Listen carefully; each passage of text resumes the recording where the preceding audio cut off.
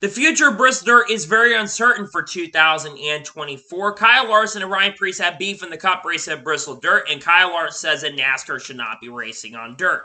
What's going guys? It's Daniel and welcome back to our video. We got a ton of NASCAR and other motorsports stories discussed here today on the channel. Let's go ahead and just jump straight into those really, really quickly. We're going to go ahead and start talking about the truck race at Bristol Dirt. As Bob Pockrass reported from Racing Insight that this is the first race since the stage era has happened to have the same 1-2-3 finish in each stage. Those three top finishers were Joey Logano, Ty Majeski, William Byron, all in the same one, two, three positions. There was not a lot of rhythm in the Truck Series race, and that's why this ended up happening. There wasn't a lot of passing. It was very difficult to get some rhythm in the Truck Series race. So, which would have been a little more different, but that's the first time that that has happened. And now we're going to head on to the next story of today's episode as we're talking about Justin Owens as tragedy struck the motorsport community this past week. Justin Owens unfortunately suffered a really bad wreck in Lawrenceburg and unfortunately passed away in that crash. Really major tragedy, just really, really sad news. And my prayers and condolences do go out to Justin Owens' family. Just a really big tragedy and just an unfortunate story that unfortunately happened. So my prayers and condolences do go out to the Owens family at this time. And now we're going to head on to the next story of today's episode as we're talking about Kyle Busch. Now, we do have a couple Kyle Busch stories that we're going to talk about on the channel, but the first one is about Kyle Busch entering the media center with croissants. Kyle Busch has definitely become more of a character in this sport, and I absolutely love that he entered the media center like that. He said, ladies and gentlemen, the croissants are here.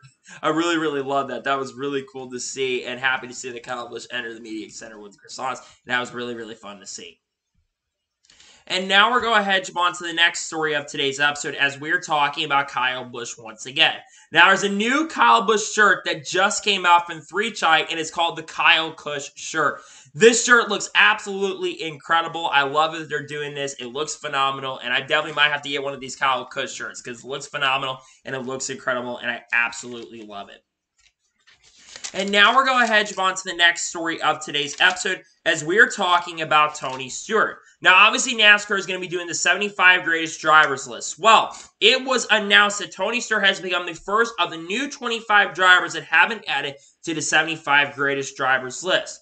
Absolutely well deserved. They'll be fire reeled every week. I think they're going to film one maybe later today, if I'm not mistaken. But it's really cool. They're adding Tony Stewart to it. Tony Stewart, of course, a 49 time winner in the NASCAR Cup Series and a three time champion, also an owner champion in the series. Well deserved, my opinion, and congratulations to Tony Stewart on getting added to the 75 greatest drivers list because he absolutely deserves it, in my opinion. And now we're going ahead jump on to the next story of today's episode as we're talking about Tommy Baldwin. As it was announced yesterday that Tommy Baldwin has become the competition director of Rick Ware Racing.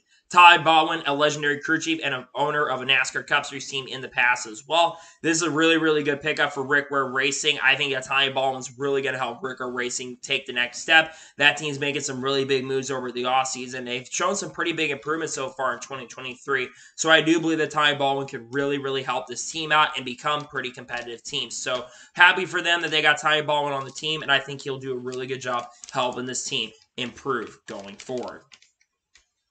And now we're going to head on to the next story of today's episode as we are talking about Abel Motorsports. As it was basically reported, I think, by Racer.com on, I believe, Friday, that Abel Motorsports is trying to field an Indy 500 entry potentially for RC Enerson. Now, Abel Motorsports, of course, is currently in Indy Lights, Indy XT, which is the new Indy XT series, and they are trying to find field an Indy, Indy, of course, Indy 500 entry for RC Enerson.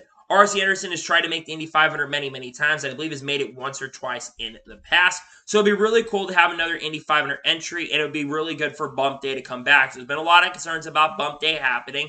There's always a last minute entry sometimes enters, and if this team does enter the Indy 500, that would mean we would have Bump Day in IndyCar once again for the Indy 500. So that'd be really, really fun to see. I hope it ends up happening, and we'll see if it does end up coming true and happening. And now we're going ahead jump on to the next story of today's episode as we are talking about Chad Finchum.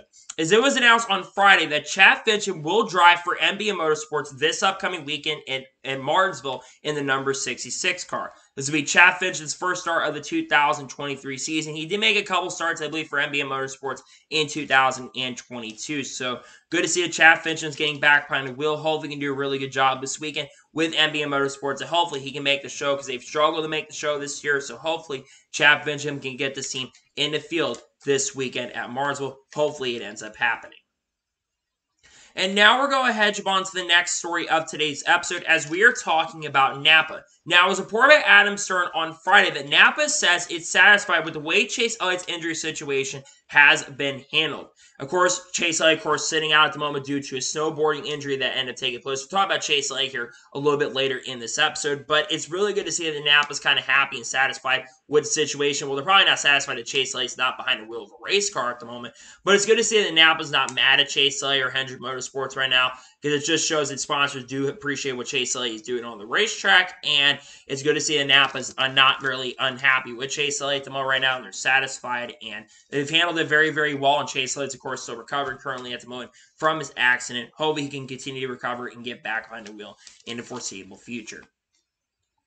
And now we're going to hedge on to the next story of today's episode as we're talking about the Milwaukee Mile as it was reported by Adam Stern on Friday or actually Thursday evening that IndyCar remains in talks with state and local leaders in Wisconsin and Milwaukee about possibly bringing a race back to the Milwaukee Mile per people familiar. Is not the first time we've heard this rumor. We heard this rumor last year that they're trying to get the Milwaukee Mile back on the IndyCar schedule. Obviously, the Milwaukee Mile hosts IndyCar races for many, many years. The last time they raced at IndyCar at the Milwaukee Mile was in the 2015 season. So it's been nearly a decade since the last time we raced on the Milwaukee Mile.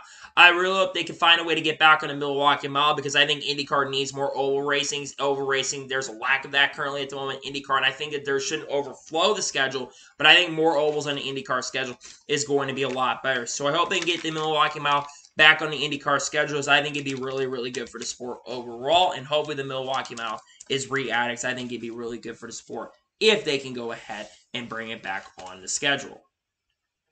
And now we're going ahead on to the next story of today's episode as we're talking about NASCAR race day. As we, of course, had NASCAR race day revival return this upcoming week for this past weekend at Bristol Dirt, and it was very, very successful to the point where it had just been announced that the upcoming six races with SMI outside of North Wilkesboro, that NASCAR race day revival is coming back. They will be at the Atlanta, New Hampshire, the Coke 600, Bristol, Texas, and the Charlotte Roval. Now, they're obviously trying to get it on TV. They've not announced if it's going to be on TV at the moment. First thing is they absolutely need to have it on TV. I think it'd be really, really good for the sport because Race Day Revival was really, really successful, and it should be on TV. It should be on Fox, and I'd love to see Kenny Wallace and John Roberts back on TV. It would make Race Day so much better than what we have currently at the moment right now for Race Day on Fox. I think what we've seen on Race Day on Fox since Kenny Wallace and John Roberts have not been on there, I think it's been a major disappointment. And I think if they brought Race Day Revival back on TV, I think it'd be really, really good for the sport overall. So I really hope that ends up happening. And let's see if it does end up coming true. But I really believe and I hope it does end up happening where they can have it on TV. So I think it'd be really good for the sport. Hopefully it does end up going on TV because it should, in my opinion, go on TV. And now we're going to to on to the next story of today's episode as we're talking about Bobby Labonte. As it was announced during stage three of the Cup race at Bristol Dirt that Bobby Labonte will join the Fox Sports booth for this upcoming race at Martinsville. This is a really good pickup, my opinion, for the Fox booth. I really like the Bobby Labonte's getting into the Fox booth because Bobby Labonte did a really good job at Darlington for the throwback weekend. I thought he brought a lot of insight last year, and this is really kind of a little bit of a surprise, but also love the fact you're bringing him back in the booth because like I said, Bobby Labonte did a really, really good job and a strong job last year, and I think he will do a really good job once again this year, like he did last year. So excited to see this for sure, and very happy to see that Bobby Labonte will be in the Fox booth at Martinsville. I think he'll do a really good job. Then next week after that at Talladega, Tony Stewart will be in the booth at Talladega, and then also, of course, Tony Stewart's already been announced to be in the booth for the Coke 600. We'll see who else gets into Fox Sports booth in the future, but I love that Bobby Labonte will be in the Fox Sports booth at Martinsville because I think he did, will do a really good job in the booth. And now we're going ahead, jump on to the next story of today's episode as we are talking about Chase Briscoe. Now, there's been a lot of talk about Chase Briscoe for a couple of reasons. We'll get into the other story around Chase Briscoe, Ryan Blaney later. But Chase Briscoe has been kind of wearing a little bit of a cast or basically a, something on his arm because he actually suffered a crash and I believe the Kyle Larson Late Model Challenge at Volunteer Speedway.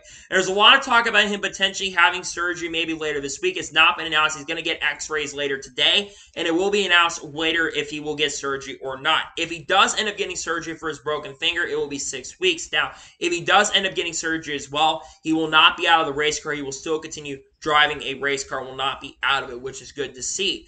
At least Chase Briscoe did say he didn't feel terrible in the cop car. He says it's hard to get socks on, but he did say basically that it really didn't feel too bad in the truck. And he said it actually felt really, really fine. It wasn't a major issue, which is good to see. So Overall, it's good. It sucks that he's basically got a little bit of a broken finger. Hopefully, the x-rays can come back. He doesn't have to have surgery, but there's a really good chance and a really strong possibility that he could end up having surgery. So we'll see what happens in regards to that. We'll see if Chase Briscoe does have to have surgery, but as of now, it's not been announced at this time. We'll have to wait and see what happens. And now we're going to head jump on to the next story of today's episode as we are talking about Martin Truex Jr. Now, one of the big stories over the week was about Martin Truex Jr. and his communication with James Small and the frustration on the radio. Martin Truex Jr. spoke to the media this past week about that, and he says that all is all good between him and James Small. And on the radio, for what I can hear on the radio this past weekend at Bristol, the communication between James Small and Martin Truex Jr. seemed to be a lot better. Mark Jr. said that they talked about 30 or 40 minutes after the Cup race at Richmond and talked about it in debrief. Again, we've seen Mark Jr. have a lot of struggles so far in the 2023 season outside of winning at the LA Clash. It's been kind of a struggling year for Mark Jr. With only two top 10 so far in the first eight races of the season. But it is really good to see that both Mark Jr. and James Small are kind of starting to get on the same page once again because it really be good for the sport if both of them get on the same page. And I think that hopefully this means that they won't have any issues going forward. So happy to see that for sure. The March is not mad at James Small because I knew there was frustration between both of them. Hopefully there won't be more frustration going forward between the two of them and they can resolve their differences and continue to improve because honestly, if they do better, it will be great for the sports. So good to see there doesn't seem like major issues there and happy to see that their communication seemed to be pretty good because their communication seemed to be very, very good in my honest opinion. And now we're going ahead and jump on to the next story of today's episode as we are talking about Kevin Harvick. As Kevin Harvick was speaking to media this past weekend about appeals, and Kevin Harvick says that all the appeals that have been going on should be live streamed on NASCAR.com. It says that he's not, he's not really surprised that Denny Hamlin lost his appeal as well. I 100% agree with Kevin Harvick. I think all live streams 100% should be live streamed. All appeals should be live streamed on NASCAR.com. I've been saying this for the last week. I think the fact that appeals have not been live streamed on NASCAR.com really is a big issue with transparency because we've been talking about the issue with transparency of NASCAR, though they are going to be a lot more transparent going forward. But I think one way you can be a lot more transparent with NASCAR fans is if you live stream these appeals. I think even Jamie McMurray said on race day yesterday that they should also live stream it as well. And I agree. Live streaming these appeals would be really, really good for the sport. It'd be really good for transparency. Fans can get a little bit insight on the appeal process. And I know the NASCARs are being a little more transparent now with these appeals. But I think another big way to get more transparent is live streaming these appeals. So I hope it does end up happening. I really hope it does because I think it'd be really fun to watch. And I definitely really tune into these appeals if they were live streaming NASCAR.com.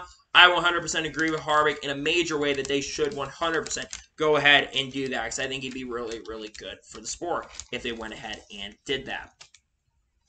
And now we're going ahead, jump on to the next story of today's episode as we are talking about J.J. Yeley. Now, J.J. Yeley spoke to the media before the NASCAR Cup Series race at Bristol Dirt and spoke about Denny Hamlin.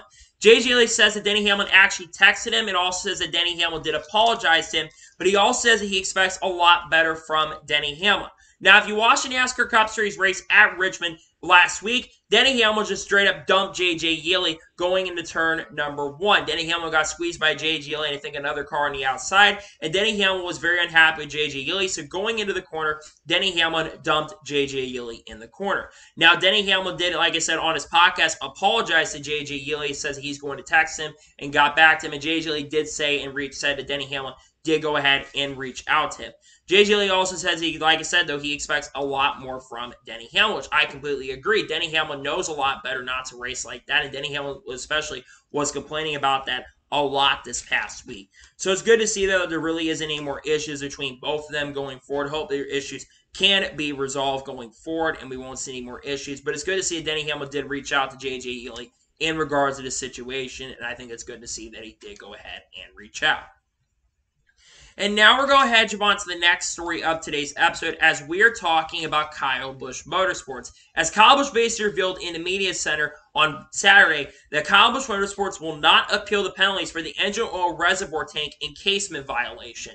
Kyle Busch Motorsports and Rev Racing over this past week, there were a lot of penalties that were announced over the last week or two and appeals and all that kind of stuff. And KBM was handed a 10 point penalty, and also Rev Racing was handed 10 points in point driver penalties and owner's point penalties for uh, violations of the oil reservoir tank. Not really shocked. Kyle said the penalty was going to be too much. Actually, the fine was going to be way too much to pay off, and said that he was likely going to lose the appeal anyways. So that's why they're not going to appeal it. It's not a major shock and not a surprise either that he's not going to appeal it. I wouldn't appeal it, especially it's not really that big of a penalty anyways. I'm not surprised by that. Not shocked about that. And again, like I said, not surprised that they are not going to appeal it. I think it's a good decision because they are probably going to lose to appeal anyways, and not surprised in the slightest that they are not going to appeal it. Not surprised by that in the slightest, in my honest opinion. And now we're going to head on to the next story of today's episode as we are talking about William Byron. Now, William Byron was speaking to the NASCAR media this past week and at Bristol Dirt, and he is really not happy with NASCAR currently about in the moment, and is really not happy about the penalty. Talking especially about the R&D Center situation. Now, William Byron and Alex Bowman were both randomly selected, randomly, and air quotes, were selected by NASCAR to basically do a R&D inspection.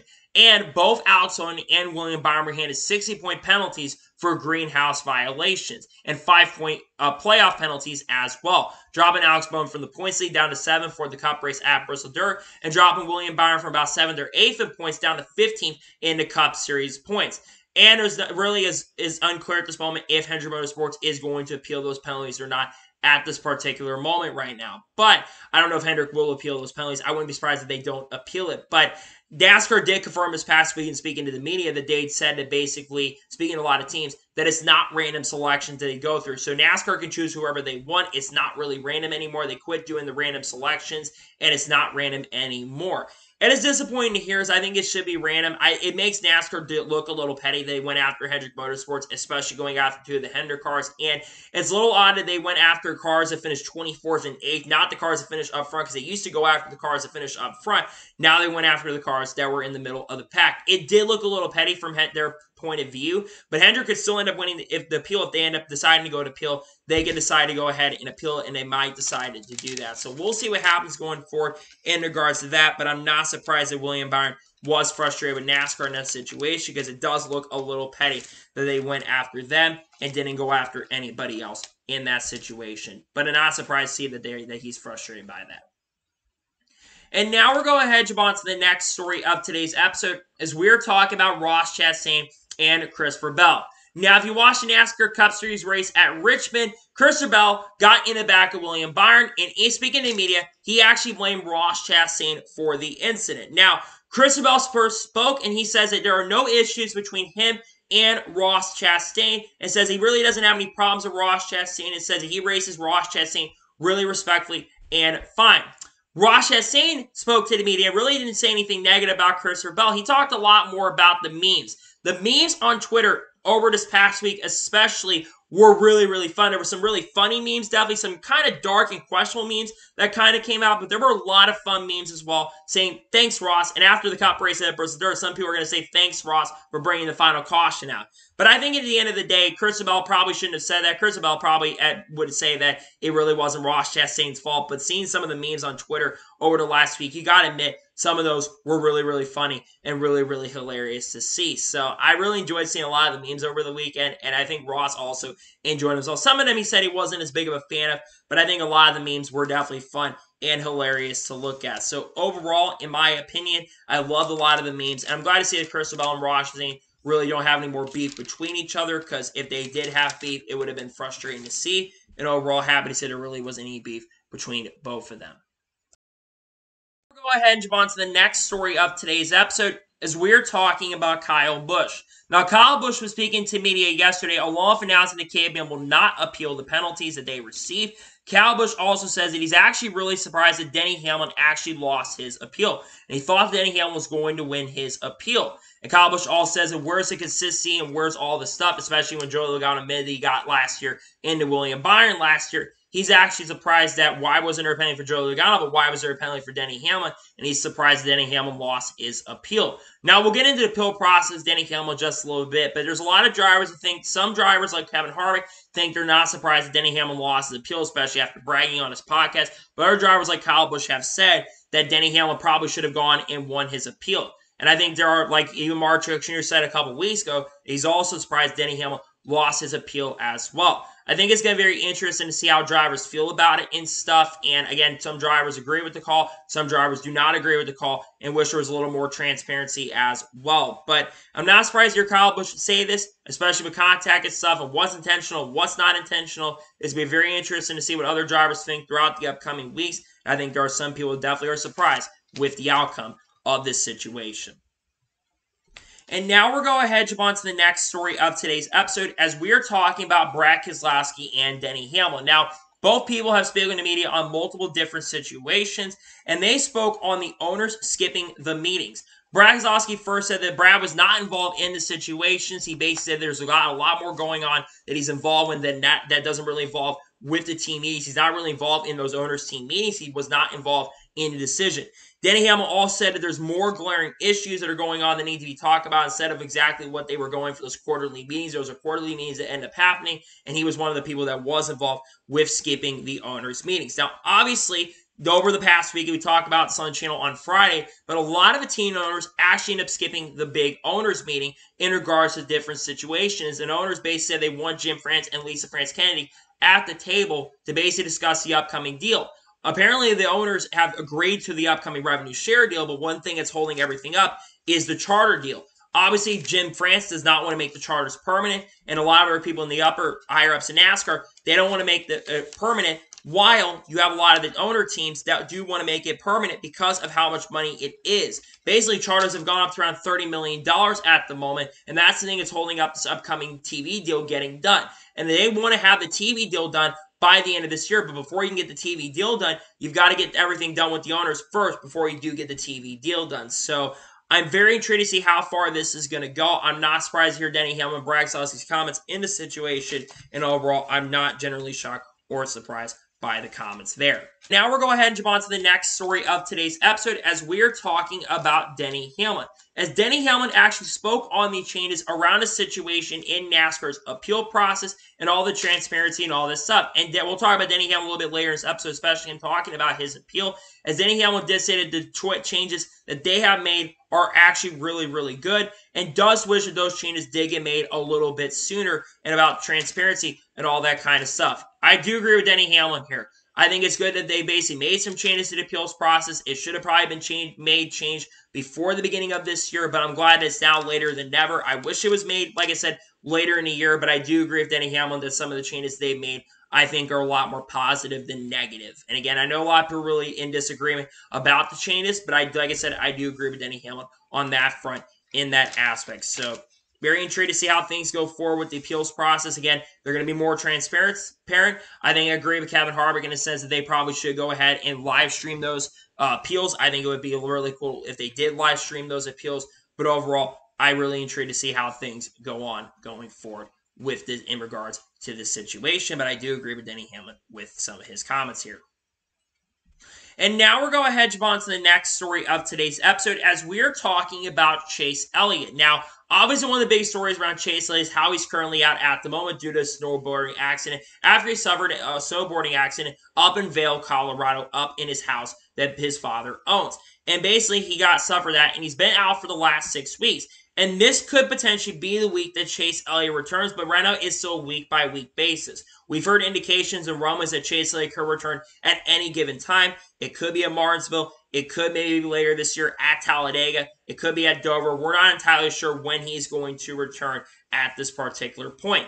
If you want my prediction, I still believe that Chase Elliott will be out this week. I don't see Chase Elliott returning to a cup car. And the reason I say I don't see Chase return to cup car this week is because of how much bread they're braking. There's going to be a Martinsville, Martinsville track where you have to brake a lot and you have to use your feet and legs a lot. And Chase Elliott probably hasn't been on his feet as much since the snowboarding accident. So I don't know if Chase Elliott will return this week. Now, could he return next week at Talladega? It's certainly possible. You won't have to brake as much at Talladega. Yes, you can survive, get involved in a crash, but also Chase could start the race and then have like Josh Berry come in and finish the race for him. So maybe he returns next week at Talladega. That definitely could be a possibility for Chase Elliott going into next week. But as of right now, they have not officially announced when Chase Elliott's going to return. It could be this week in Martinsville. It could be next week at Talladega. It could be at Dover, but there's a lot of braking in Dover too. So it's going to be a week by week basis, and hopefully Chase Elliott can return to the racetrack really, really soon. I don't think there's currently a set date when he's going to return, but I think it'll be in the next two weeks. I think it potentially could be next week at Talladega, but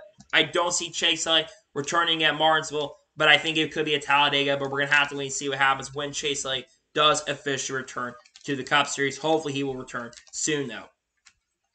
And now we're going to hedge on to the next story of today's episode as we're talking about Chase Briscoe and Ryan Blaney. Now, on the final race, restart race around eight laps ago, there was contact between Chase Briscoe and Ryan Blaney going into turn number one. Chase Briscoe tried to go in a hole that really did not exist at the time, and Chase Briscoe unfortunately turned Ryan Blaney. And unlike certain incidents like the Michael McDowell 360, which is really, really impressive, NASCAR did not throw the caution with eight laps to go, and it caused Ryan Blaney to go from having a shot at maybe winning the race to going to finishing outside the top 20, which is really disappointing. Now, Chase Briscoe, after the race, spoke to the media and he took responsibility for the wreck, saying that that was my fault. That's the second year in a row that I have made a mistake at Bristol Dirt when I've been in contention for maybe winning and I may just made another mistake. Yeah, because you have to remember, and you have to go back to last year, where near the end of the race on the last lap, Chase Briscoe made a dive bomb move into Ch- uh, Tyler Reddick, spinning Tyler Reddick out. Tyler Reddick was not really mad at Chase Briscoe for the incident because he said he would have done the same thing. But this is the second year in a row where Chase Briscoe has made a mistake at Bristol Dirt. And if you look over the last years, especially Chase Briscoe has made a lot of mistakes on the racetrack when he's been in contention for the win. Look back at the Coke 600 between him and Kyle Larson, where he tried to send it on Kyle Larson with two laps to go and spun himself out and created a restart where a lot of cars end up getting taken out of contention on the next restart, including Austin Dillon and Ross that seemed to have been up front a lot of that race as well, who were also on fresh tires as well near the end of that race. I think Chase Briscoe is going to have to learn to be a little more careful going forward. And I, again, I do appreciate Chase Briscoe for making basically admitting he made the mistake because that clearly was Chase Briscoe's fault. I will say though, I appreciate that from Chase Briscoe that he admits that it was his fault because yeah, absolutely was his fault. And he also says that he expects payback, and I think a payback could be coming for him in the future. But we'll have to wait and see what happens if there's payback in regards to that in the foreseeable future. And now we're going to head on to the next story of today's episode as we are talking about Dale Jr. Now, NASCAR, of course, is returning to North Wilkesboro later this year, and Dale Jr. have been asked if he is going to return to the Cup car at North Wilkesboro or truck in North Wilkesboro. And Dale Jr. basically confirmed that he is not planning to run the All Star race at this current moment. He says that basically his Cup days are long gone. The last time a Dale Jr. raced in the NASCAR Cup Series car was back in 2017 and has not raced in NASCAR in general on a full time basis since the 2017 season. Now, Junior is going to run two Xfinity Series races this year. I think one of those is going to be Bristol, if I'm not mistaken. I can't remember exactly which races he's announced that he's going to run, but he's going to run two races this year. One of them with Hellmann's, one with another company. I think Bass Pro Shops is going to be the other sponsor that Dale Jr. is going to run later this year. But Dale Jr. basically said that he's not ruling ever, has not completely ruled out a possibility of ever running a Cup car again. But he says as of now he's not running the All Star race. But he does say his Cup days are long gone.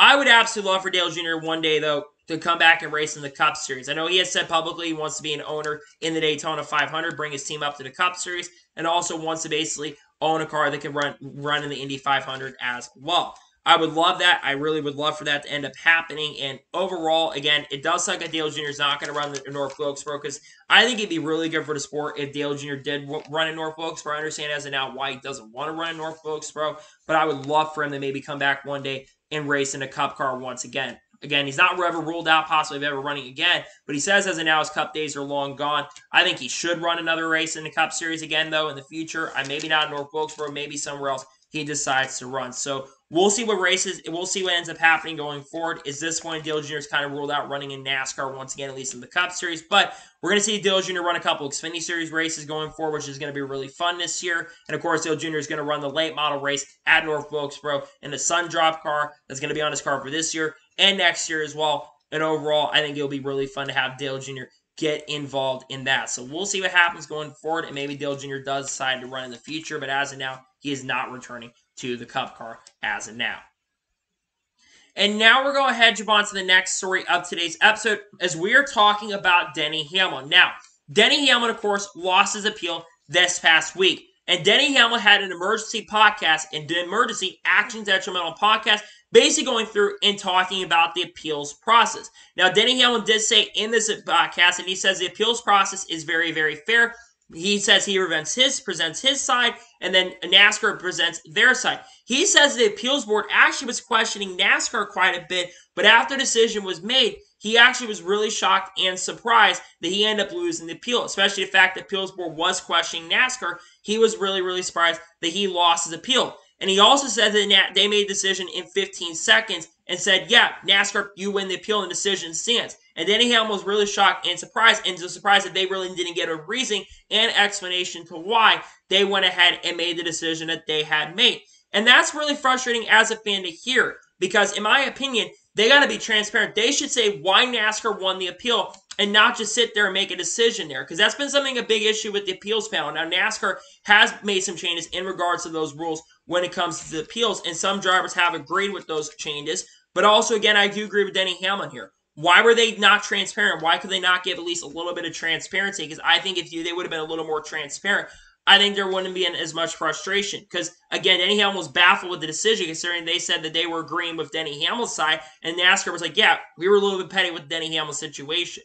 Because if they were agreeing, why did they basically keep the decision that NASCAR made? And NASCAR, like I said, won the appeal. And again, they should have at least uh, kind of talked about it, went more broad with the situation. And I think that's why a lot of people in the industry were really, really frustrated with appeals. And I think a lot of people are kind of tired of talking about appeals when you have appeals becoming a major topic and not the racing product out on the racetrack, it can be definitely really, really frustrating as a fan. So overall, I think any uh, podcast, if you've not seen the podcast yet, I think I absolutely recommend you go and watch it. It's a really good podcast. It's a very enjoyable podcast, and I really do love the Action Detrimental podcast. Sometimes it can get frustrating to watch for sure, but overall, I really enjoyed the podcast. It was very enjoyable, and I think if you've not watched it, it is an absolute must watch. And I think you absolutely 100% have to go watch that podcast. Hopefully, you guys go check that out. And Denny Hamlin is a lot more better. I would definitely recommend go and watch that podcast. There's a lot more stuff talked about in that. And now we're going ahead and jump on to the next story of today's episode as we're talking about Circuit of the Americas. As we got a lot of stuff talking around Bristol Dirt, but let's, let's talk about another SMI track, and that is Circuit of the Americas. Now, of course, SMI does not own Circuit Americas. They rent Circuit of the Americas. And it was reported by Bob Pockrass and other reporters that Morgan has said that he anticipates SMI and COTA agreeing to have a race at Circuit Americas once again in 2024, as this, of course, is the contract year for Circuit Americas with SMI and staying at Circuit Americas racetrack. Obviously, I am 100% for keeping COTA on the racetrack. COTA is an absolutely great racetrack. It provides a lot of good racing. This was the best COTA race I've seen so far. Great racing, a lot of great field strategy. Yes, turn one has been a major issue at COTA, but that's been kind of an issue for Formula One as well and other tracks when it comes to the racing product there. But when I go back and look at the situation, COTA coming back to the schedule, 100% well deserved. It also brought, again, a very strong crowd for people that said at the racetrack, the crowd looked really, really good. And in my honest opinion, I think that if you're gonna want to keep again, I think COTA, you got a younger group as well. One of the younger crowds you get because Austin is a growing city, and I think staying in that market is really, really big for the sport in general, and they need to continue staying in that market. So I think it's well deserved to come back to the schedule next year. Again, I don't know if we keep like six, seven road courses going forward, but I really did enjoy the racing at COTA, and it absolutely deserves to be on the schedule long term and going forward. So I'm happy to hear that they likely are bringing it back to the schedule next year. It's really good news to hear. It deserves to be on the schedule. It's brought a great crowd. In my opinion, I hope they sign a long term extension and COTA stays on the schedule for the next 10 to 15 years because I think the road course racing was really good at COTA this year. It provided some great, fantastic racing overall. I really enjoyed it. It was exciting. It was fun to watch. And I absolutely 100% hope COTA stays on the schedule long term. It sounds like it's getting back in 2024, which is really, really exciting because, like I said, it absolutely 100% deserves to be on the schedule long term. I enjoyed it. It was very, very fun. It was exciting, and I'm really excited to hear that they are bringing it likely back on the schedule next year because it brought a great crowd, brought some great racing, brought a pretty solid finish between Tyler Reddick and Kyle Busch here for a little bit, and just fun racing overall for fans. And it's a really good booming city, and NASCAR should 100% stay as Circuit America's long term. And I'm glad to hear that they likely are going back there in the future because it deserves to be on the schedule long term, in my honest opinion.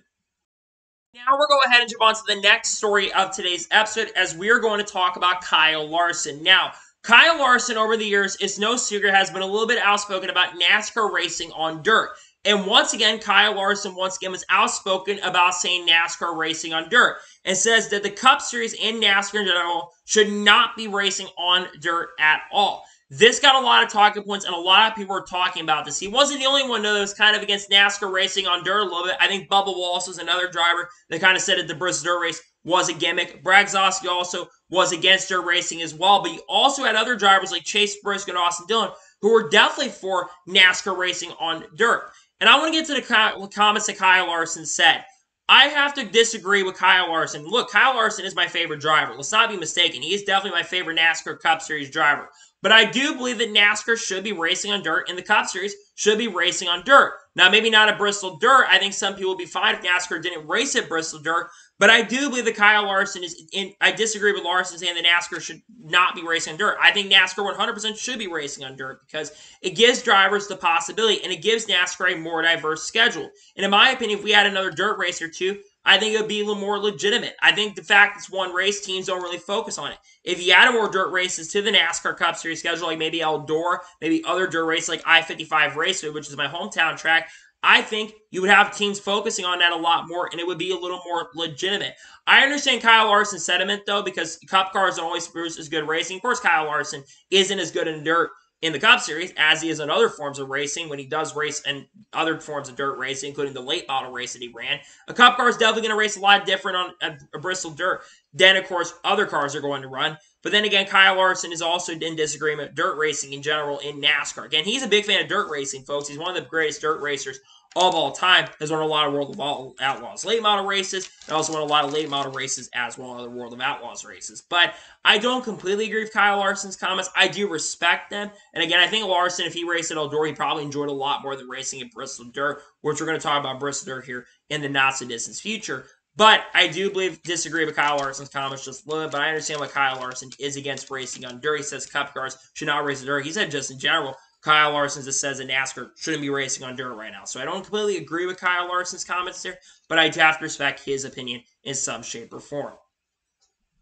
And now we're going ahead and jump on to the first of two major stories in today's episode as we're talking about Ryan Preece versus Kyle Larson. Now, this is the beef I did not expect in 2023, but if you watched the NASCAR Cup Series race at Bristol Dirt, you saw the beef between both drivers. So, I believe this was in stage two, if I'm not mistaken. Both Kyle Larson and Ryan Preece were trapped a little bit farther back in the pack because he had four guys that stayed out, that being Tyler Reddick, Mark Truex Jr., Bubba Wallace, and Ty Dillon. And Kyle Larson was trying to clear up in front of Ryan Preece. Well, Ryan Preece is there, and Kyle Larson unfortunately cleared up in front of Ryan Preece. and Larson unfortunately put Ryan Preece into the outside wall by clearing up in front of him. And after, when that caution came out a few little bit later, after Ryan Preece spun out a little later, Ryan Preece was very unhappy on the radio, and Chad Johnson on the radio all said that Kyle Larson thinks he's the best, and Ryan Preece says he probably was going to pay back Kyle Larson in some shape or form. Well, the payback did come a little bit later in stage number three as Larson actually decided, team decided to make a really bad call where they decided to stay on older tires and did not put fresh tires on, on 75 lap tires. And Kyle Larson went to the bottom and ended up spinning out and dropping to the back. Larson was starting to make his way back toward the front. And then, of course, the contact happened where Ryan Preece paid Kyle Larson back. A little bit contact down the backstretch. Larson seemed maybe to get a little frustrated or something broke on the car. Hits the inside inside of Preece. Then basically goes to the outside wall, gets a ton of damage. Unfortunately, Jonathan Downpour got collected in that same wreck as well, and payback ensued. After that, Kyle Larson spoke to Fox and kind of said that he should not have been back there in the first place, but also spoke to the media and said, I figured we could just grow the F up and grow ups, grown ups, and get the F over it. Basically saying that he, Ryan Preece, should have gotten over it. Now, Ryan Preece then spoke to the media after the race, after basically crossing the finish line in 21st, and Ryan Preece basically admitted that, didn't admit to, he basically said, after what he said on the radio, he said, I got loose. And a lot of people say, well, Ryan, why did Ryan Preece not admit to basically intentionally wrecking Kyle Larson? Well, I think it's a no-brainer. He's not going to admit to it. And I think a lot of people look at what happened with Denny Hamlin. And I think the fact Denny Hamlin got in trouble and got a 25 point penalty for basically admitting on a podcast that he intentionally wrecked Ross Chastain or got into Ross Chastain, Ryan Preece is not going to admit that he ran into Kyle Larson. And a lot of people are going to say, why? What are your thoughts on as a Kyle Larson fan? Well, look, in a situation with Kyle Larson, I think Ryan Preece may have overreacted with the Kyle Larson situation because Ryan Preece did the same thing to Kyle Busch and Ty Dillon in the race. But you also have to understand that Ryan Preece this year has had a really frustrating year. And he was having his best race so far of the season since the Busch Light Clash. Had a car that easily could have won this race. And in the heat race was definitely faster than Kyle Larson. But Ryan Preece has been driven really, really bad this year. He was frustrated at COTA, and at least he acted on what he was going to do. And I can't blame Ryan Preece for being frustrated. He's been having a frustrating 2023. And then a lot of people also were talking about Tony Stewart in the booth saying, why was Tony mad at Ryan Preece? Well, look what happened. Denny Hamlin got a big penalty. So he said, I hope not. I hope that wasn't intentional because that could be a penalty coming for Ryan Preece. Do I think Ryan Preece should be penalized? No, absolutely not. We shouldn't penalize drivers for wrecking. Or well, maybe if they intentionally wreck them, but again, maybe it was intentional. But I don't think that Ryan Preece should be penalized for the incident. But if you want my honest opinion, I also think maybe Ryan Preece a little overreacted a little bit in the situation. But then again, Ryan Preece has been driven to lack of respect this year, and I can't blame Ryan Preece for being frustrated and upset. Now, both drivers did say they're not planning to talk to each other. After that, they basically filled their case. So hopefully this beef can be done between both of them going forward. I don't know if Ryan Preece will be up front as much as Kyle Larson has been because Larson's team kind of cost him a shot anyways, and Larson should have never been back there to begin with. I have no clue. I don't know if it was Cliff's decision or Kevin Meendering's decision to get him on old tires because that put him back there where that situation happened. And in my honest opinion, when it comes to situation, Kyle Larson has had a history of making mistakes, driving a little over aggressive at times, and it's cost him a shot at championship last year. And I think it might have cost him this year as well if he makes those mistakes going forward once again. So in my honest opinion, I really don't know what's going to happen going forward in regards to that. And we'll see if there's any more beef between the two of them going forward. But I don't think there'll be any more beef. I think it's probably settled at this point. But then again, I've been wrong many, many times before, and we'll see what happens going forward. But I don't think there'll be any issues between them going forward because I don't know if Preece will be up for contending as much. But then again, we'll see what happens going forward in regards to that. I think the beef might be done. I think Preece got his payback, and I don't think anything will come against us going forward. I don't know if they'll talk to each other. Again, they're saying they're not planning to talk to each other currently at the moment. Larson was pretty blunt after the race, so it was interesting to hear that he said that Ryan Preece should have definitely gotten over it. He was a little surprised that Ryan Preece was upset. It's basically an hour and a half after. And then Kyle Larson basically said that it was like, eh. He's kind of shrugged it off a little bit. Seemed a little frustrated speaking to the media and kind of just wanted to get out of there in that situation. It was like, said, do you believe anything between there? He said, Nah, he's just a little frustrated speaking to the media, but I can't blame Kyle Larson being frustrated. He had a chance to win the race, and the team kind of cost him a shot and an opportunity at it. And now we're going ahead and jump on to the final major story of today's episode as we are talking about the future of Bristol Dirt. There is a little bit of uncertainty right now about the future of Bristol Dirt, and it came in a video that resurfaced on Friday and reported by Bob Pockrass. Marcus Smith was speaking to media on Thursday after the announcement of the North Wilkesboro All Star Race format. And Marcus Smith said that there's no decisions that have been made about whether the spring Bristol Dirt Race will be on dirt next year for 2024. They said they have kind of looked at the schedule a little bit, but they have not announced that. Now they say they're expected to be back in Circuit Americas, which they did go did kind of confirm they're expected to be back in Circuit Americas next year, 2024. But he also said that they're not confirmed if they're going back to the Bristol Dirt Race or not. I want to talk about this a little bit because I do have some things I do want to say about it. I've seen a lot of people being pretty negative about the Bristol Dirt Weekend overall, and it's, it's disappointing because I thought the race at Bristol was pretty good this year. I really enjoyed it. I think they did a really good job preparing the track, and I did enjoy it. If they are return to Bristol Dirt next year, I'd definitely be for because I think that Bristol did provide a really good race. However, I'll be honest with you guys, I think there's a very strong chance and a possibility that there's not going to be race at Bristol last year, this next year, because Bristol Dirt did not have a good crowd this year. I think the crowd honestly did look a little worse in 2023 than it did in 2022. And I think a big factor is racing on Easter. I think a lot of people think that NASCAR should not be racing on Easter, and probably some drivers think we should not probably be racing on Easter as well. But I also think it will go back to the crowd situation. There's been an issue with the spring race for many, many years, and I think a big reason why people are a little skeptical into Bristol this year is because of weather. The weather has affected the spring Bristol race for a very, very long time. And I think, in my opinion, we should move the race a little bit later in the year. If we're going to have Bristol in 2024, I do believe that we should move it to a little bit later in the year to the May and June time. And here's why I say this, and I'll explain why. Looking back to the last 10 years, 2014, rain affected the weekend, race had a lot of rain delays. 2015, rain affected the race and the weekend in general, they had a lot of delays. 2016, they got lucky. 2017, spring race gets postponed. 2018, spring race gets postponed to Monday. 2019 did not get affected by rain, but I think there was rain in the vicinity in that area. 2020 got postponed because of COVID 19 and got moved to later in May. That's where it got moved to May, and that had no rain issues. 2021, race gets postponed to Monday, had rain issues and monsoons. 2022, there was rain throughout the weekend, and things I believe maybe gotten postponed if I'm not mistaken. And 2023, we had basically practice qualifying get completely washed out, and it changed the complexion of the race. To me, if Bristol Dirt's going to stay around long term and stay on the schedule long term, in my opinion, you do need to move the race to a little bit later in the year. I personally think that they should move the race to, like I said, maybe late May, early June, and move some race dates around. Because in my opinion, if they're going to keep two Bristol dates around, that should happen.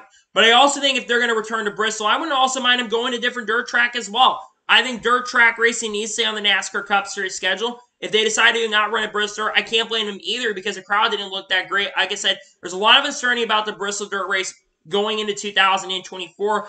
I think there's a chance it's not going to come back next year. I just think some people feel like they probably shouldn't be a thing. Some drivers say we should come back to Bristol Dirt. But if I had to choose a dirt track, if we were not going to go to Bristol, where will we go next year? Eldora.